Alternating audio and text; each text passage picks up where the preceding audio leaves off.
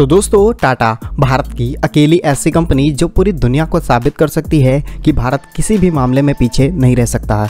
जी हाँ दोस्तों, आपको ये जानकर के बहुत खुशी होगी कि भारतीय कंपनी टाटा स्टील के द्वारा दुनिया का पहला बायोफ्यूल से चलने वाला शिप तैयार किया गया है, जो रॉ मटेरियल्स को इम्पोर्ट और एक्सपोर्ट करने में मदद करेगा और इस शिप को कम्प्लीटली इंडिजिनियस टेक्नोलॉजी से बना करके तैयार किया गया है।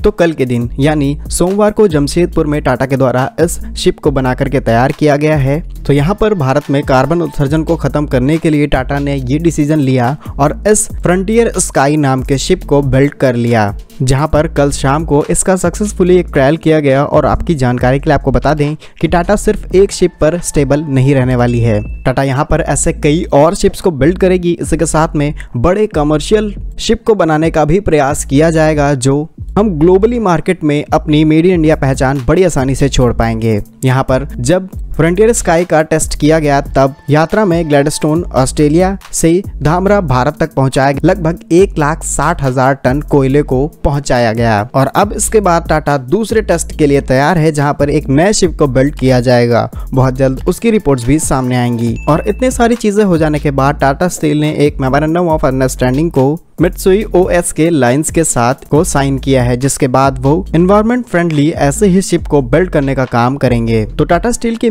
मेहनत के बाद ये भारत की एक और बहुत बड़ी अचीवमेंट है, जहाँ पर दुनिया में कुछ ही कंपनियाँ ऐसे रिस्क भरे काम करती हैं जिसमें से टाटा शामिल हुई है और कम्प्लीटली इसका ट्रायल सक्सेसफुली किया जा चुका है। तो टाटा की इस अचीवमेंट के बारे में आप लोगों की क्या राय है कमेंट बॉक्स में ज़रूर लिखेगा भारत के ऐसे ही और इन्फॉर्मेटिव एंड यूजफुल वीडियोस पाने के लिए आप हमारे यूट्यूब चैनल को सब्सक्राइब ज़रूर कर लीजिए। मिलेंगे हम आपको एक नई और इंटरेस्टिंग वीडियो में। तब तक के लिए वंदे मातरम, भारत माता की जय।